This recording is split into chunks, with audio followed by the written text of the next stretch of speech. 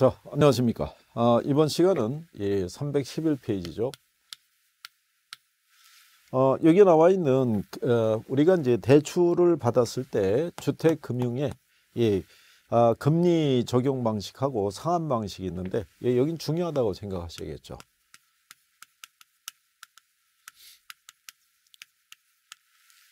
예, 요즘 이제 우리가 주택금융에 대한 금리 적용 방식을 먼저 보시게 되면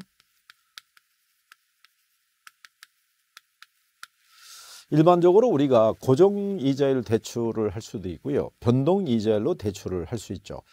예, 그래서 요즘 나오는 게 이런 얘기죠. 예, 주담대에 대한 이제 그 이자율이 계속 올라갈 때 변동금리로 대출 받으면 지금은 상당히 불리한 상황이죠.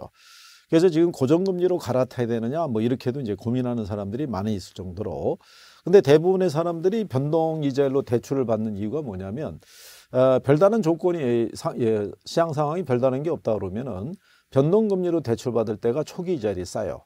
예, 그래서 이제 대부분의 사람들이 변동금리로 대출을 받게 되는데 시장 상황이 불안정해지고 예에서 금리가 계속 상승하는 구간이 도래를 하게 되면은 변동이자율로 대출 받게 되면은 예, 상환에 대한 부담이 점점 커지게 되죠.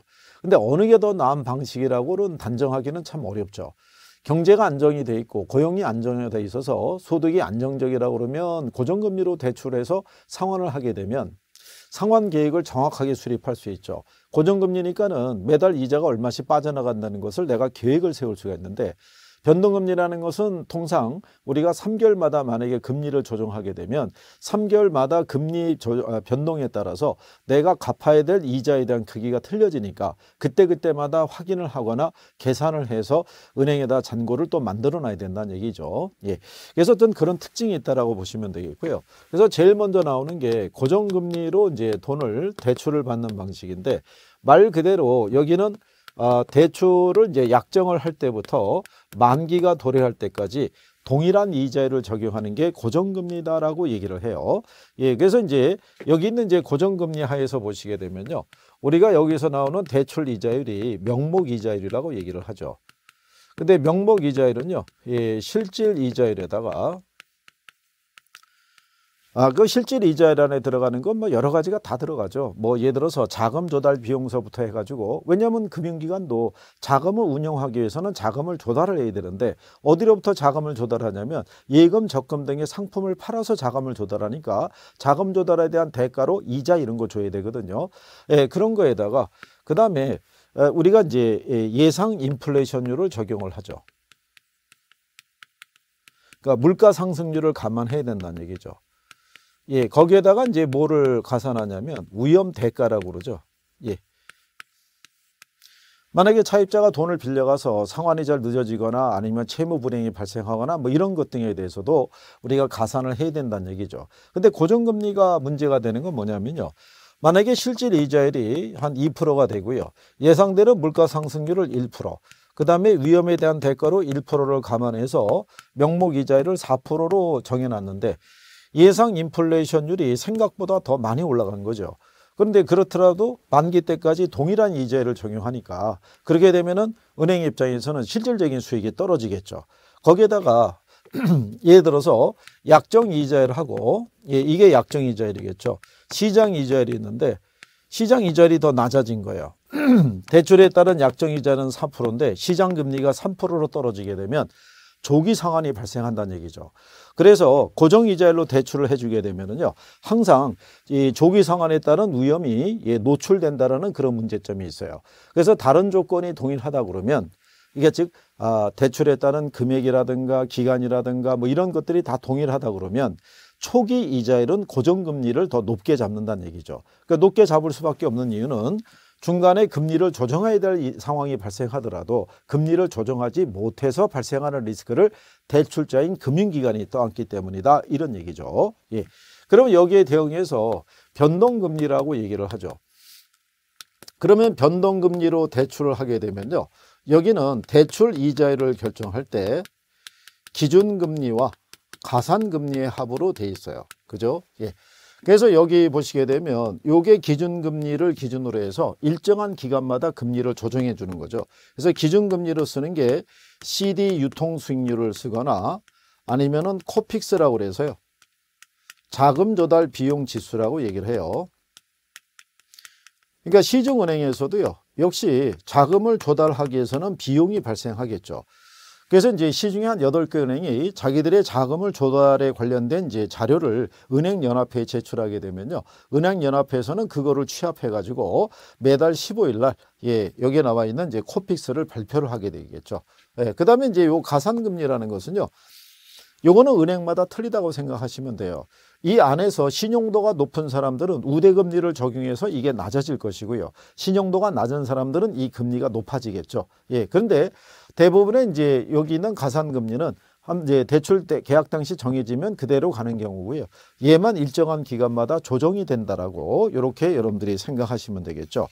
그래서 이 고정금리에서 발생할 수 있는 이자율 변동에 대한 위험이라든가 인플레에 대한 위험에 대처하기 위해서 만들어낸 게 변동금리 방식이다라고 이렇게 여러분들이 생각하시면 될 거예요.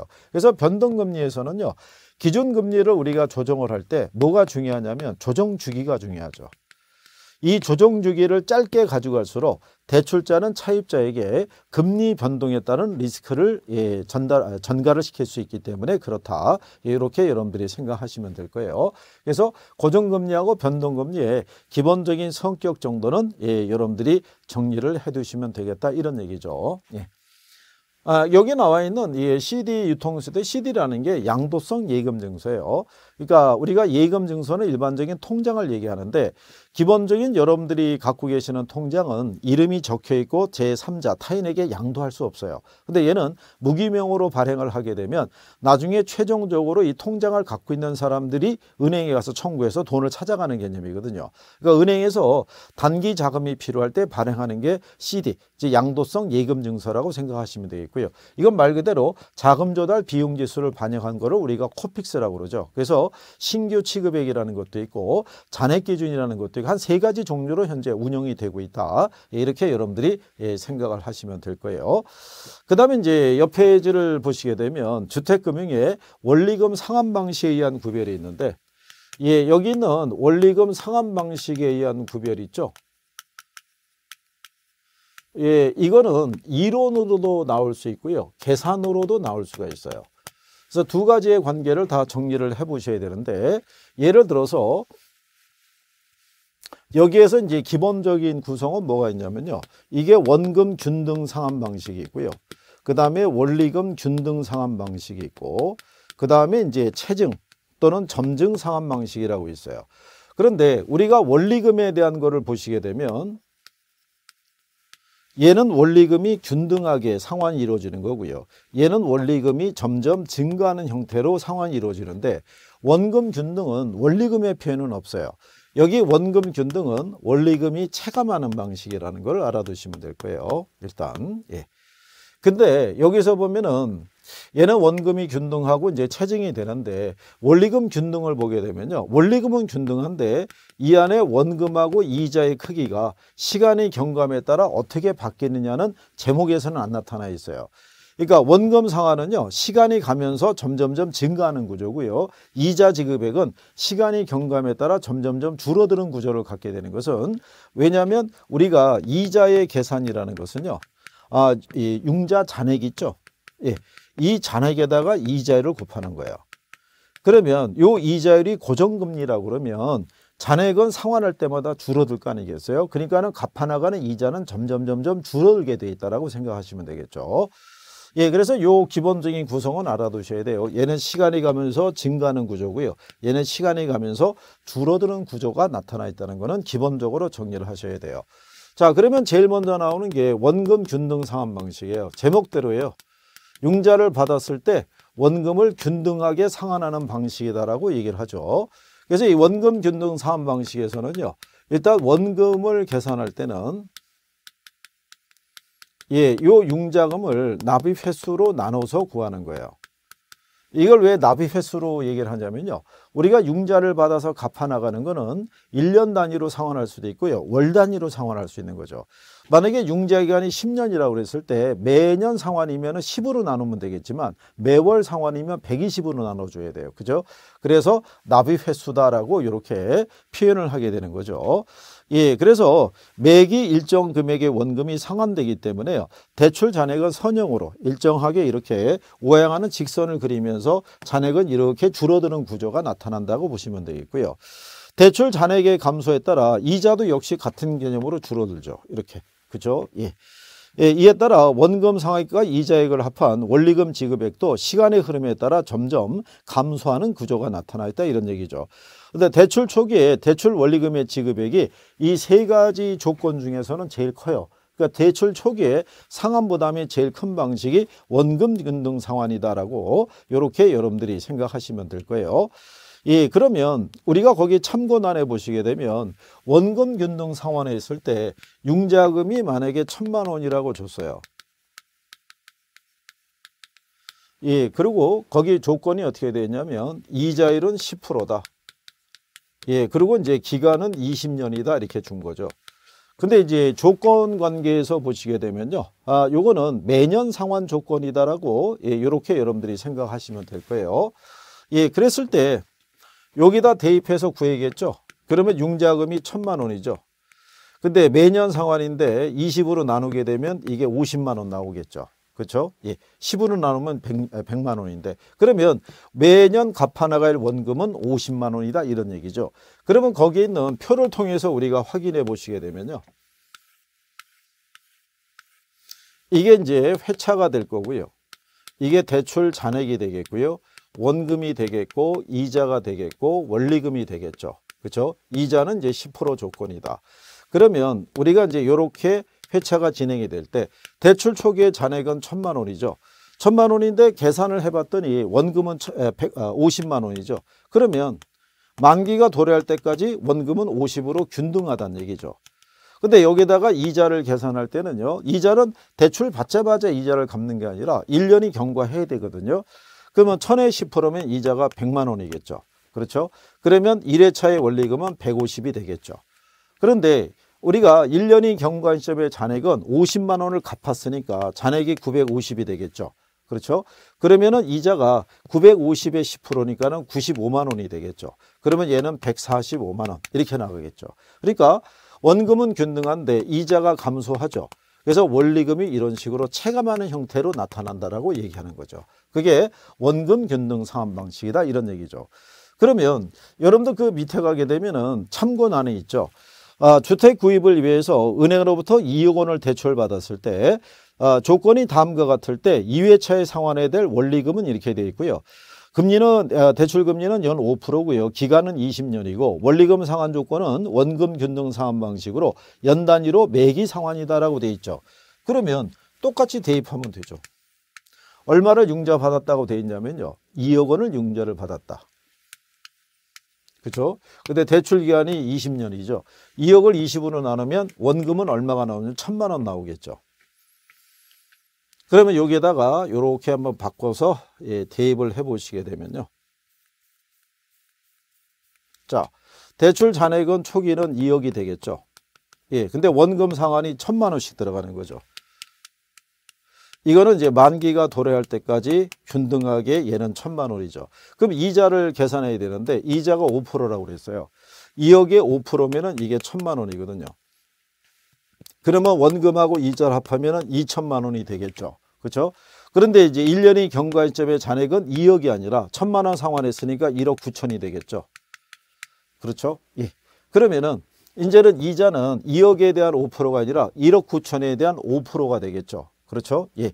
그러면은 1억 9천에 5%가 나오게 되면요. 요거는 이제 950만 원이 나오겠죠. 그러면 두 번째는 950이니까 얘는 1950이 되겠죠. 그러면 2회차의 원리금 상환액은 1950이 답이 되겠죠. 그렇죠? 예, 이런 식으로 우리가 계산하는 게 원금 균등 상환 방식의 논리다. 예, 이렇게 구별을 하시면 될 거예요. 예. 그 다음에 이제 뒤로 넘어가시게 되면 원리금 균등 상환 방식이라고 있어요.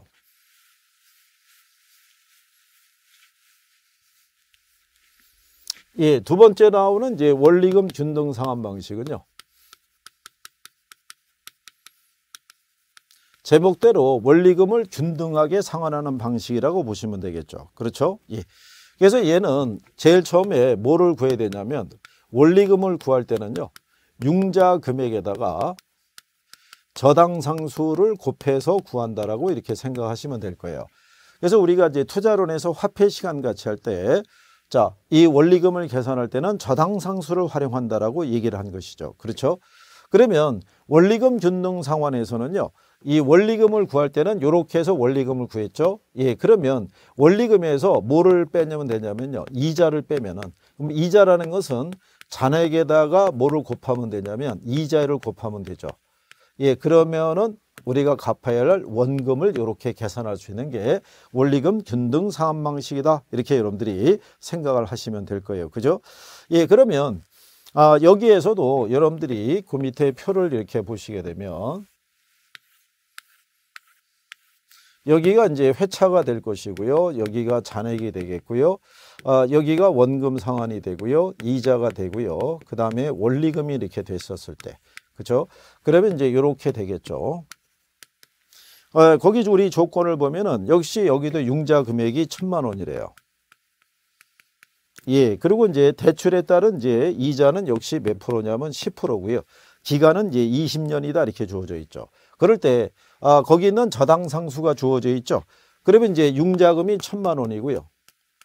예, 여기에 이제 아, 저당 상수가 0.117460이라고 돼 있어요. 그러면 요거를 곱하게 되면요. 117만 4,600원씩 예, 상환을 하도록 돼 있는 거죠. 그러면 원리금은 1년 차서부터 117만 6천, 아, 117만 4,600원씩 요게 균등하다는 얘기죠. 요렇게. 만기가 도래할 때까지. 그래서 원리금이 균등하다 이런 얘기죠. 그런데 이 원리금에서 우리는 이자를 공제를 해야지 원금 상환이 이루어지겠죠. 그러면 어, 천에 10%니까 이자가 1회차 이자가 얼마냐면 100만 원이죠.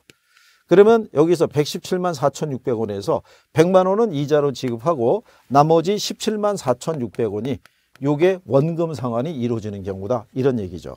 예, 그러면 우리가 1년이 경과한 시점에서 대출 잔액은 천만 원이 아니라 17만 4,600원을 갚았다는 얘기죠. 그죠? 그러면 요때의 잔액은 982만 예, 5,400원 이렇게 나오겠죠. 이렇게. 그러면은 2회차가 됐을 때 이자는 100만 원이 아니겠죠. 그죠? 100만 원이 아니라 요때는 요 잔액에 대한 10%니까 980 98만 2천 원 정도가 이자가 되겠죠. 그러면 동, 원리금은 동일한데 이자 부분이 줄어들었으니까 원금 상환분이 커지겠죠. 그래서 원금 상환분은 19만 2,100원 이렇게 나온다는 얘기죠. 그러면 시간이 경과할 때 원리금은 균등하지만 이자는 이렇게 감소하고요. 대신에 원금 상환분은 이렇게 증가하는 구조를 갖고 있는 게 그게 원리금 균등 상환 방식이라고 보시면 되겠죠. 그죠? 예, 그래서 원리금 균등 상환 방식은요. 이렇게 원리금은 동일한데 시간이 경과할수록 이자 지급분은 이렇게 줄어들고요. 그 다음에 원금 상환분은 시간이 경과할수록 이렇게 커지는 구조를 갖고 있어요. 이게 그래서 여러분들이 원금 균등하고 원리금 균등하고 이렇게 비교를 해보시게 되면은 초기의 상환액은 어쨌든 원금 균등이 클 수밖에 없죠. 원금을 균등하게 분할해서 상환하는 방식이니까.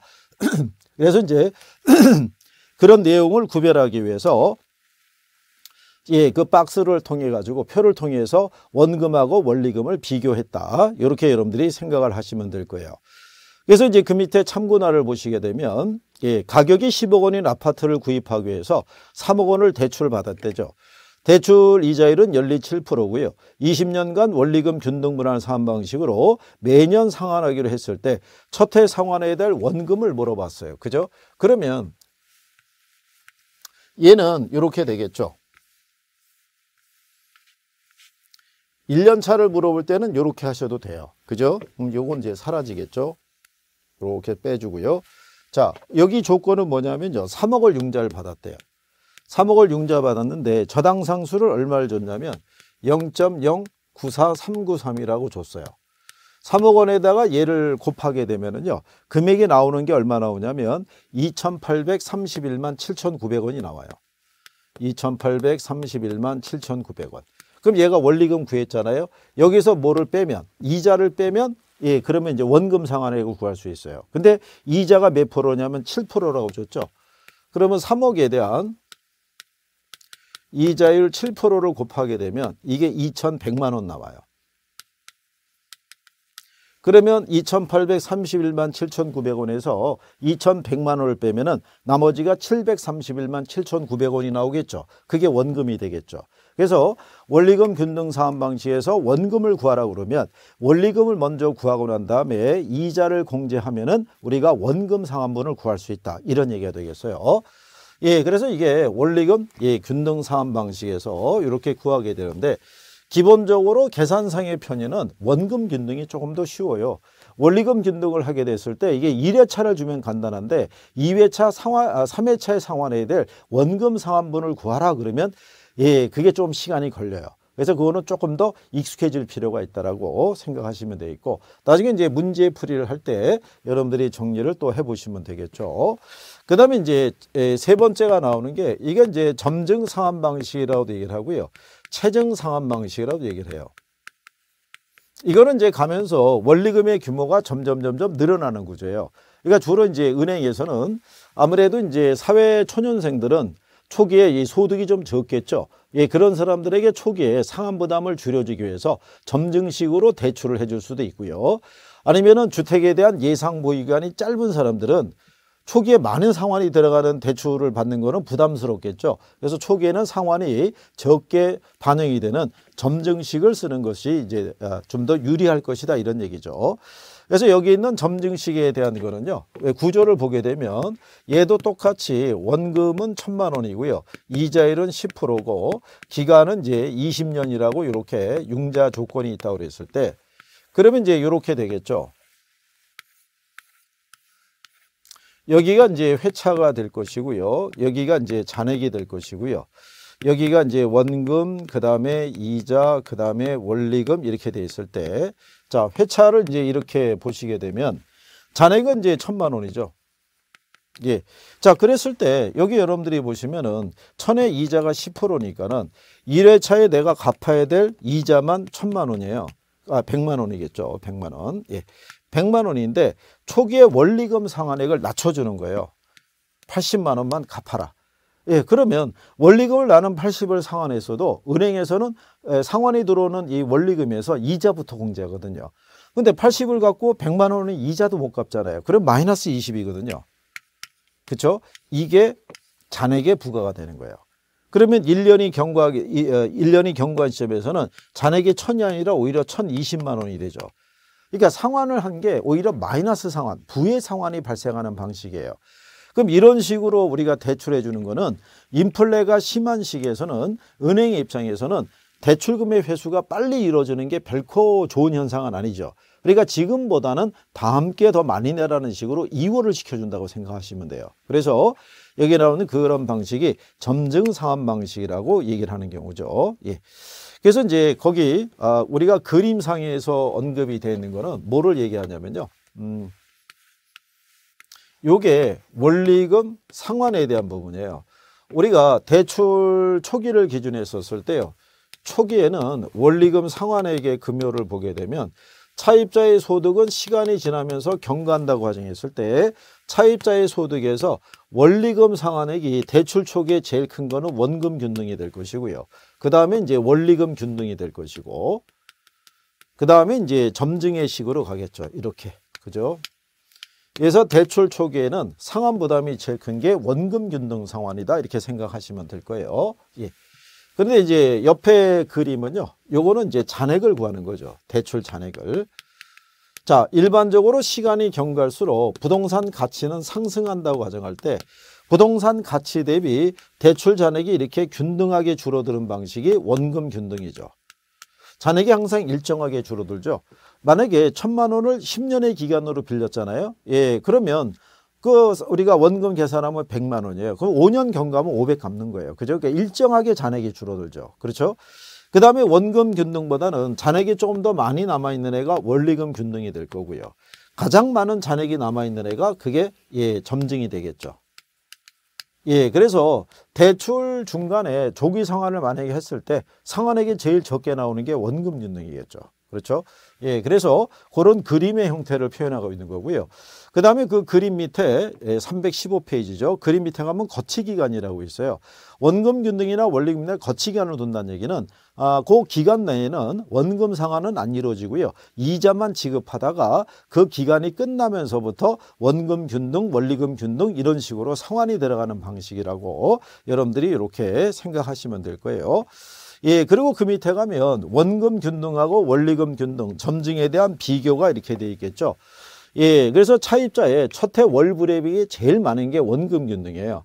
그리고 만기 이전에 중도 상환할 때 미상환 대출 잔액이 가장 적게 되는 것도 원금 균등이겠죠. 왜? 가장 많이 갚았으니까 잔액이 제일 적게 나타날 수밖에 없다라고 이렇게 여러분들이 생각하시면 되겠죠. 그래서 대출 실행 시점에 총부채 상환 비율이 가장 높다라고 얘기를 하는 것은요. 총부채 상환 비율이라는 것은 차입자의 연소득분에 내가 갚아나갈 연간 원리금의 규모를 얘기를 하죠. 그래서 연간 원리금의 규모는 원금 균등이 제일 크죠. 예, 그래서 총부채 상환 비율은 원금 균등이 제일 크다라고 보시면 되겠고요. 그 다음에 원리금 균등, 제일 작은 게 점증이라고 이렇게 여러분들이 생각하시면 될 거예요. 그래서 원금 회수는 어느 게 제일 빨리 이루어지겠어요? 원금 균등이 제일 빨리 이루어지죠. 그러니까 대출자 입장에서는 원금 회수 위험이 가장 적게 나타나는 게 원금 균등 상환 방식이다라고 이렇게 여러분들이 보시면 되겠죠. 그래서 이제 그런 내용 중에서 예, 어, 거기 7번을 가서 보시면 360페이지에 16페이지에 7번 지문을 보시면 원리금 균등 분할 상환에 의하면 대출 기한 중에서 매월 납부하는 원리금 상환액 중에서 원금 분할 상환액의 규모는 점점 늘어난다는 거. 예, 그런 건 항상 기억을 해 두셔야 된다라고 여러분들이 보시면 될 거예요. 그죠? 예. 그래서 어, 초기에 대한 상환 부담이나 뭐 나중에 중간에 뭐 원금 회수 위험이나 이런 것들은 이 방식에 대한 개념을 조금만 정리할 수 있으시면 예, 무난하게 답을 찾을 수 있다 이런 얘기죠. 이론으로도 잘 나오고요. 계산 문제로도 활용을 해요. 예, 그래서 지금 우리가 원금 균등, 원리금 균등에 대한 계산적인 논리는 우리가 이렇게 해봤던 거죠. 그렇죠? 예, 그래서 나중에 이제 우리가 이거를 따로따로 지금까지 출제를 했는데 한 번 정도는 뭉쳐서 내지도 않을까. 대출 조건을 같이 주고요.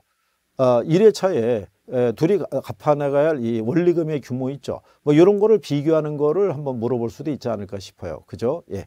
왜냐하면 웬만한 유형은 또 다 나왔거든요. 에, 그래서 나중에 우리가 그런 유형에 대해서는 우리가 예상 문제나 아니면은 나중에 모의고사 문제를 통해서 한번 여러분들이 한번 접해 보는 걸로 예, 그렇게 정리하도록 하죠.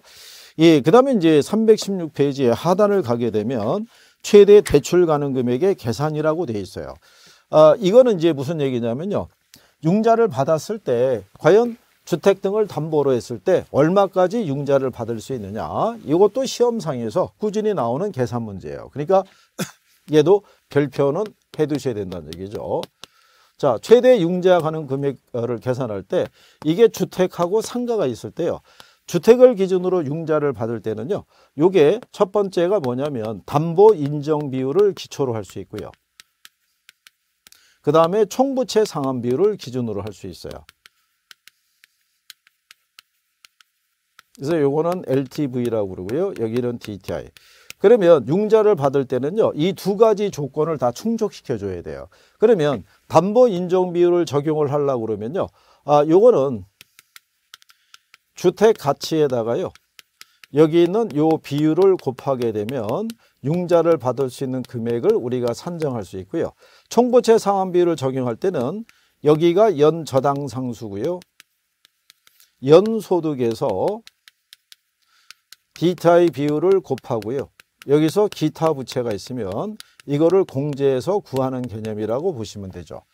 그러니까 주택 기준으로 했을 때는 단순하게 그래서 옆 페이지에 가서 보시게 되면 317페이지에 자 문제로 확인하기를 보시면 주택담보대출을 희망하는 A 소유 주택시장 가치가 3억 원이고요. 연소득이 5천만 원일 때 다른 부채가 없다면 A가 받을 수 있는 최대 대출 가능 금액을 물어봤는데 박스에 보시면 대출 승인 기준이 담보 인정 비율은 몇 프로 줬냐면 60%. 그 다음에 얘는 몇 프로 줬냐면 40%. 이 조건을 충족을 해야 된다는 거예요. 근데 담보 인정 비율은 쉬운 거예요.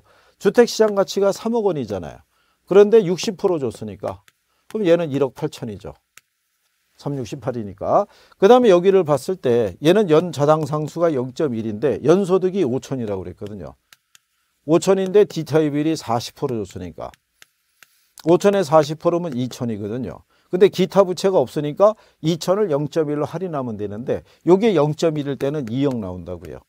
그러면 우리가 융자를 받을 수 있는 금액이 1억 8천 이렇게 우리가 구별할 수 있다는 얘기죠. 그러니까 요령만 알면 은 바로 대입할 수 있다는 얘기죠.